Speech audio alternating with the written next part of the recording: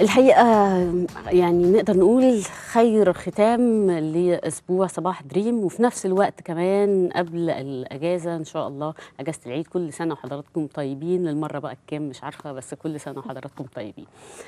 إيه، إحنا بنعيش أيام مباركة جدا جدا وأحلى حاجة فيها الدعاء. يعني معروف طبعا أنا مش هقول مش هتكلم في الدين وغير مؤهلة لذلك لكن طبعا كلنا عارفين أن أقرب ما يكون العبد لربه وهو ساجد. وإن ربنا قال لنا ادعوني أستجب لكم. وقال كمان آه، وإذا سألك عبادي عني فإني قريب أجيب دعوة الداعي إذا دعاني. يعني ربنا هو اللي بيقول لنا ادعوني وأنا هستجيب. فالأيام اللي إحنا بنعيشها دي هو المفروض ندعي فيها. ومعروف إن الدعاء هو مخ العباده يعني بصوا إحنا مخنا هو الأساسي. يعني الإنسان بي يعني إيه يعني لما بيموت مخه بيقولوا إيه؟ مات اكلينيكيا. فالدعاء هو مخ العبادة. يعني ده أساسها. حاجة مهمة جدا فيها.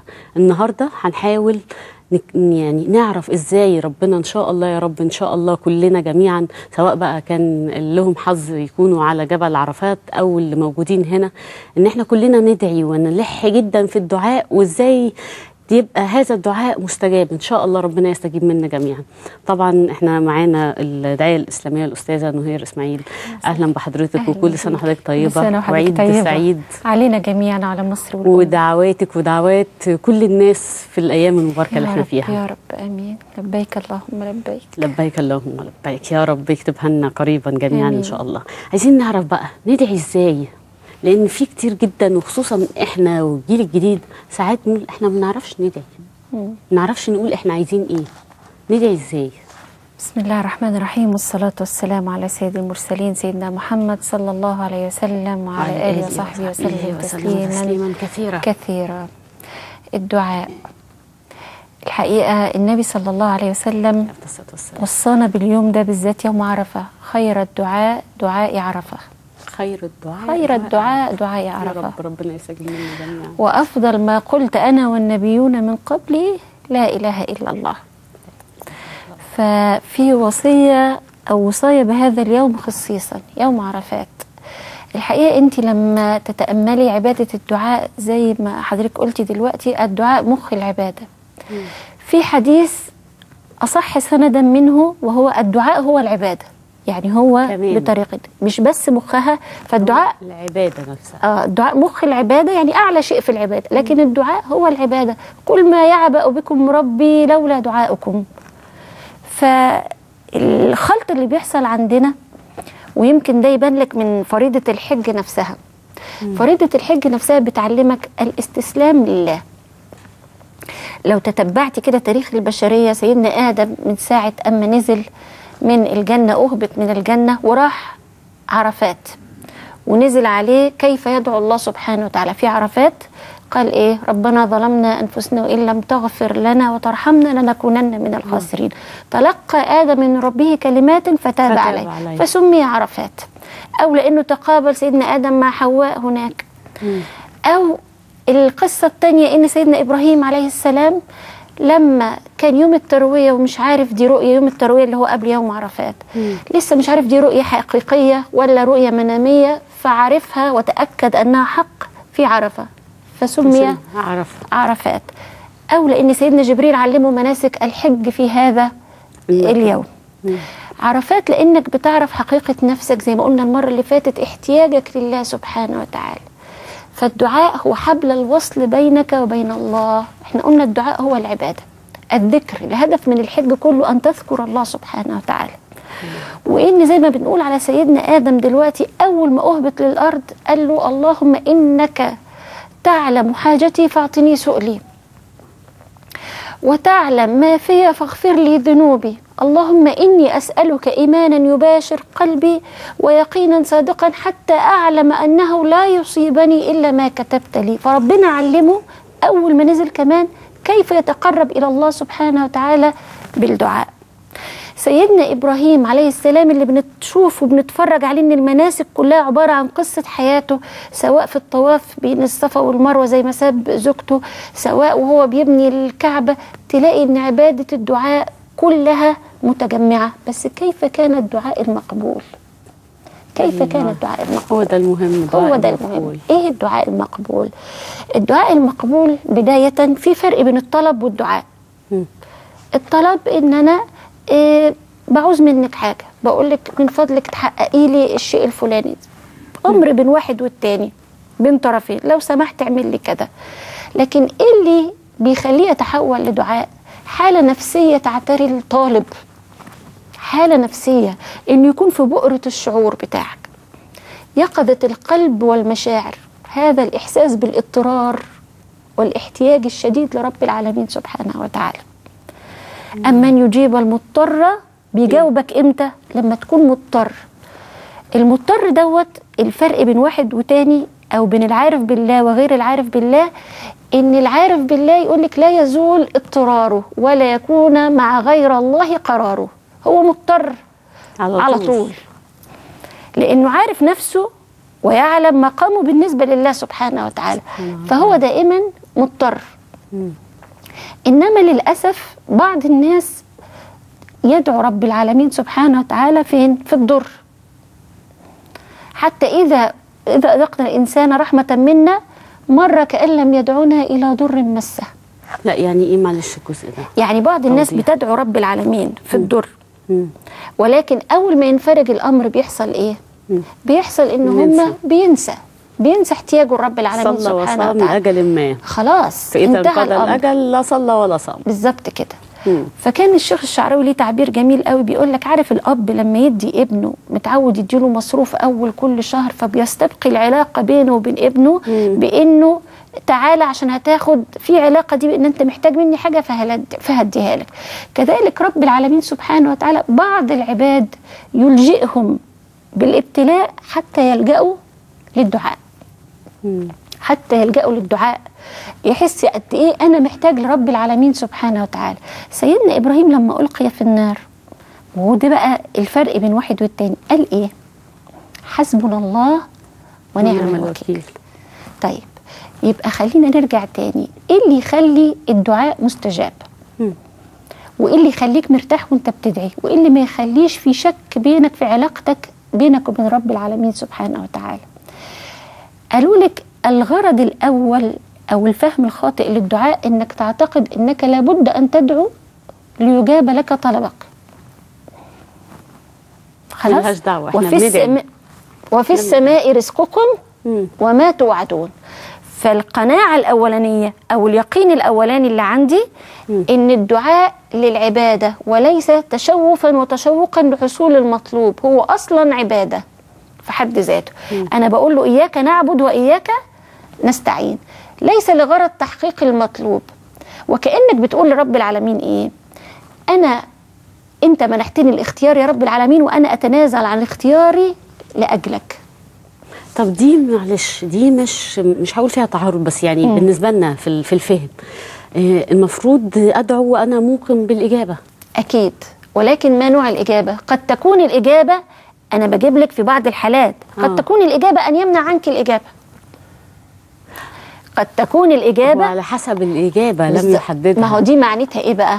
أن هو يعلم وعسى أن تكرهوا شيئا وهو خير الله وعسى أن تحبوا شيئا هو وهو شر لكم. لكم فسبحانه وتعالى الفرق بين واحد والتاني إن أنا بدعي رب العالمين عشان أحقق طالما أنا باخد بالأسباب والدعاء من الأسباب إن توصلني لغايتي فأنا بدعي رب العالمين عشان يحقق لي اللي أنا عايزاه لكن وأنا بدعي بدعيه لمجرد ودي بقى طبعا مرتبة عالية جدا. لأنه بيقول لك في حديث تاني من شغله ذكري عن مسألتي أعطيته أفضل ما أعطي السائلين. اذا ده كده كده متحقق. هيعطيك أفضل ما تسألي. هيديكي باللي مش في بالك أصلا. أحسن ما انت طالبة بكتير جدا. ولكن أنا بدعي لأن أنا من وجهة نظري أنا ده اللي أنا عايزاه يا رب العالمين. لكن سلمت أمري إليك وفوضت أمري إليك. فبحقق مفهوم العباده لكن عايزه بقى إيه احقق فانك باعيننا أنا في معيتك يا رب أنا في عيازك أنا في جوارك نفس مفهوم الحج لما بتروح تحج رب العالمين سبحانه وتعالى وتخشي على الملك كده عند بيته وتخشي عند الملك كده وتشوفي انك واحد لا تساوي ذره ولا هباء في الكون وتحس قد إيه هو غني واحد كان قدام النبي صلى الله عليه وسلم مش عايز يصلي فسيدنا عمر طبعا عايز يدخل يضرب عنقه على طول. فالحق يا رسول الله بص ده فقال له إن الله سبحانه وتعالى لغني عن صلاة فلان. له ملائكة قياما يقولون سبحان ذي العزة والجبروت وركوعا يقولون سبحان ذي الملك والملكوت وسجودا يقول سبحان الذي حي الذي لا يموت إلى قيام الساعة. ومش محتاج. مش محتاج صلاه مش. محتاج. حتى لما بينقص عدد الطواف اللي حوالين بيت الب... آه، بيت الحرام بيطوف بإزاء البيت المعمور يكمل العدد من الملائكة سبحانه وتعالى. فالقصد إن أنت تعرف إن هو ملك. خلاص؟ فالملك غير محتاج لكن أنا اللي محتاجه أدعي لك يا رب. مع يقين التام إن أنت تعلم هو ده بقى اليقين. ادعوا الله وأنتم موقنون بالإجابة. ما من داع يدعو بدعاء ليس فيه إثم. ولا قطيعة رحم إلا كان له عند الله ثلاثة خصال. تلاتة. يعني هو أكيد استجاب في كل الأحوال. هو أكيد استجاب خلاص. ولكن إما أن يعجلها لك في الدنيا. أو يدخرها لك في الآخرة أو يصرف عنك من السوء مثلها. أنت دعيتي الملك. سبحانه وتعالى. فعشان كده بقول لك الدعاء عبادة في حد ذاتها. ولكن سلمتي الأمر لله. لو في خير يا رب هتعجلها لي. أو أنت شايف إن أهم وأحسن وأفضل إنك تاخدها هناك حتى يتمنى العبد أن لم يكن استجيب له دعاء في أبداً. الدنيا. أو يصرف عنك من السوء مثلها. لأن كم من واحد رب العالمين خلى بينه وبين دعوته حتى إنه يقول لك إيه اقضوا حاجته فإني لا أحب أن أسمع صوته. في واحد تاني رب العالمين بيحب أنت متخيلة إن الملك يحب يسمع صوتك؟ اخروا حاجته فإني أحب أن أن أسمع أسمع صوته. عايز يسمع صوتك.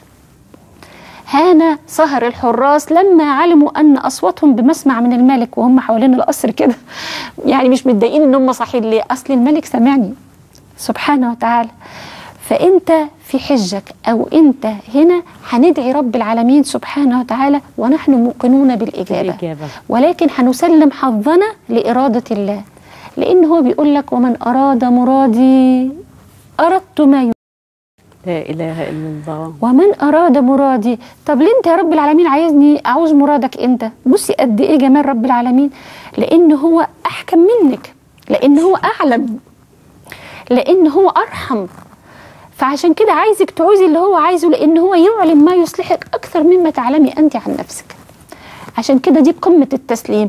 هل كان سيدنا إبراهيم وهو بيقول علمه بحالي يغني عن سؤالي لما ألقي في النار هل كان يعني يتكبر على البلاء بتاع رب العالمين سبحانه وتعالى. ده كان سيدنا علي رضي الله عنه يخش عليه وهو يتآوه. فبيقولوا له تتآوه وأنت أبو الحسن؟ يقول إني لا أشجع على الله. يعني هتشجع هعمل شجاع على رب العالمين سبحانه وتعالى. لا يتكبر على البلاء ولكن يسلم الأمر لله.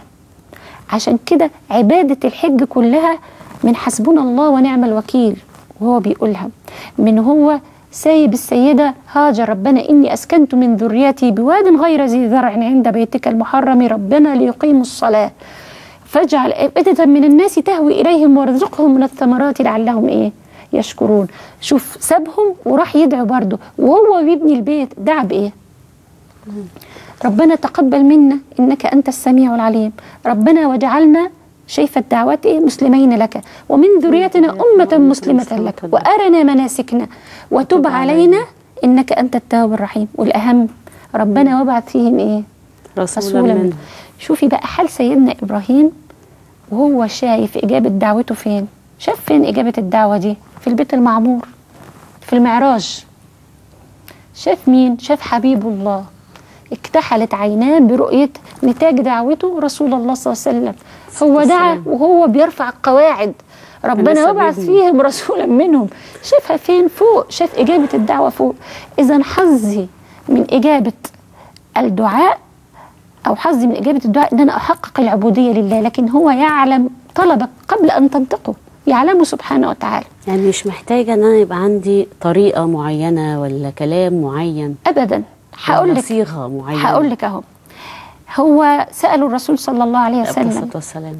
أقريب ربنا زي ما أنت بتسألي كده أقريب ربنا فنناجيه أم بعيد فنناديه فنزلت وإذا سألك عبادي عني فإني فإني قريب. قريب.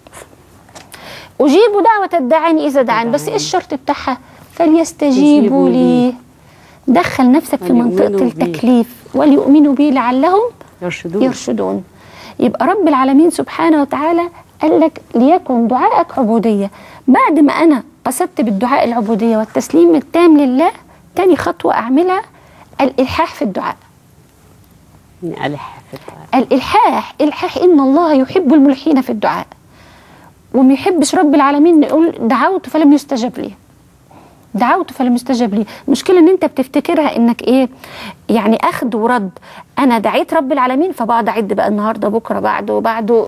ليه اتاخر عليا الطلب؟ فأنا فاهمة منظومة الدعاء غلط.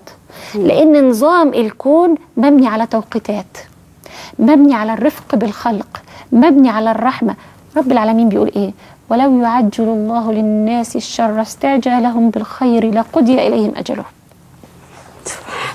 لا إله انت مش عايزة تعجلي الأمر لنفسك خلاص هيجي لك أجل. ممكن يعجل لك آه. بنفس اللي انت طالباه وقد يكون في شر ليكي أو يكون في سوء ليكي فمن رحمة رب العالمين أن يؤخر هذا عنك طب أخيرا بقى فضل صيام عرفات طبعا صيام عرفات دوت عشان إحنا لغير الحاج مم. عشان تلحق بيه الناس اللي هناك عشان تبقى معاهم على نفس. المشقة لأن النبي عليه الصلاة والسلام لما تكلم ما من يوم أكثر أن يعتق الله في عباد من يوم عرفة وإن الله ليدنو ثم يباهي بهم الملائكة فسألوا النبي صلى الله عليه وسلم ألأهل الموقف خاصة قال بل للمسلمين عامة يعني إحنا داخلين. من باب إيه صدق رسول الله صلى الله عليه وسلم عليه الصلاة والسلام صيام يوم عرفة هيكفر لك السنة التي قبلها والسنة التي بعده ما فيش رب. أكتر من كده في. حديث عن النبي صلى الله عليه وسلم ما من. أيام أحب إلى الله من أيام العشر يعدل صيام كل يوم بصيام سنة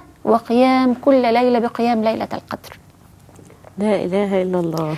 فأنت مطلوب منك أن تغتنم وإن حتى جيت في الآخر وإن حتى هتبتدي من دلوقتي تقرب إلى الله بقدر ما تستطيع. تقرب إلى الله وليكن هدفك الوصل.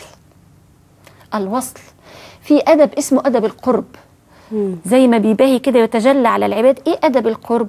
إن أنت بصيت لرب العالمين. فلقيته هو الشافي ولقيته هو الكافي ولقيته هو المدبر. فسلمت أمرك لله. النبي عليه الصلاة والسلام كان يرفع يديه في عرفة.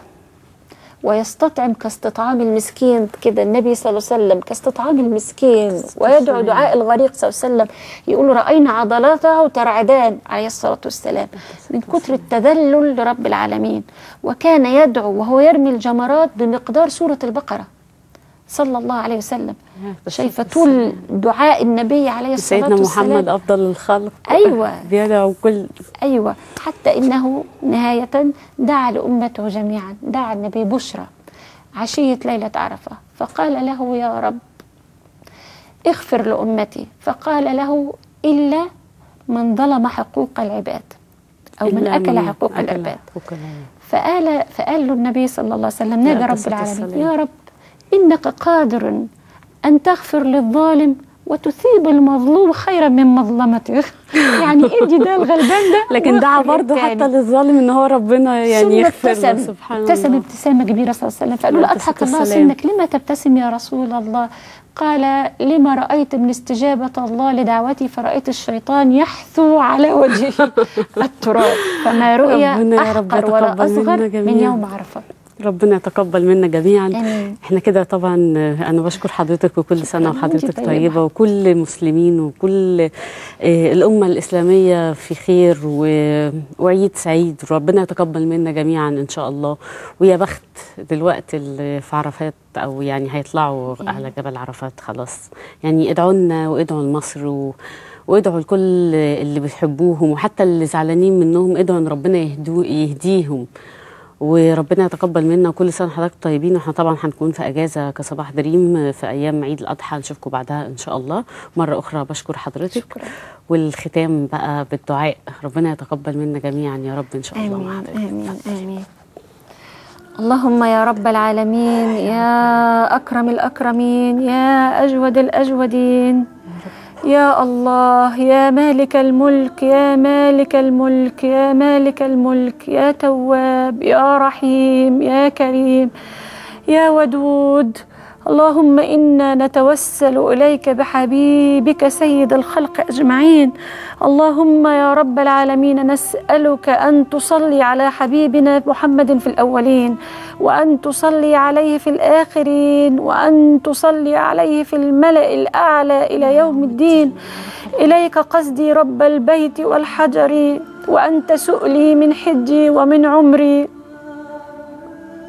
وفيك سعي وتطوافي ومزدلفي والهج جس- جسمي الذي يغني عن الجزر ومسجد الخيف خوفي من تباعدكم.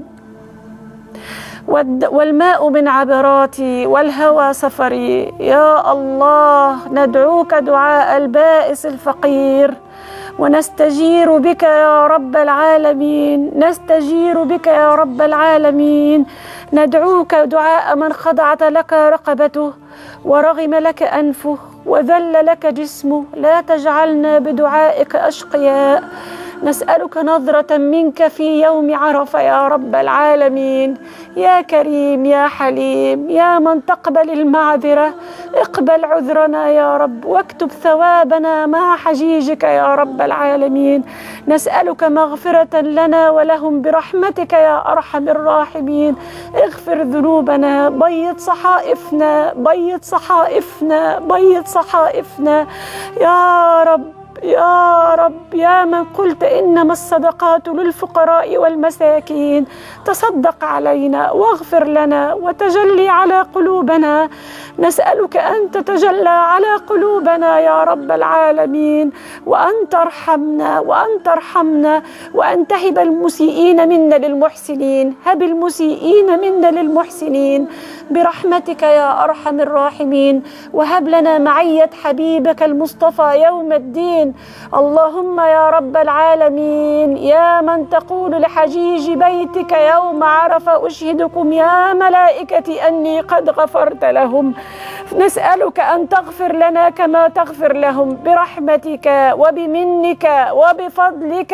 يا الله رفعنا أيدينا إليك يا من قلت وإذا سألك عبادي عني فإني قريب. فلا تردهما خائبتين وقفنا ببابك يا ملك ولذنا باعتابك يا جواد. فأعطنا ولا تحرمنا أعطنا ولا تحرمنا أعطنا ولا تحرمنا. برحمتك يا أرحم الراحمين. اللهم أنزل السكينة على مصرنا اصلح أحوالنا. دم علينا النصر والتوفيق دم علينا النصر والتوفيق. واجعلنا إخوانا متحابين برحمتك يا أرحم الراحمين. وآخر دعوانا أن الحمد لله رب العالمين. صلى اللهم وسلم وبارك على حبيبك رسول الله.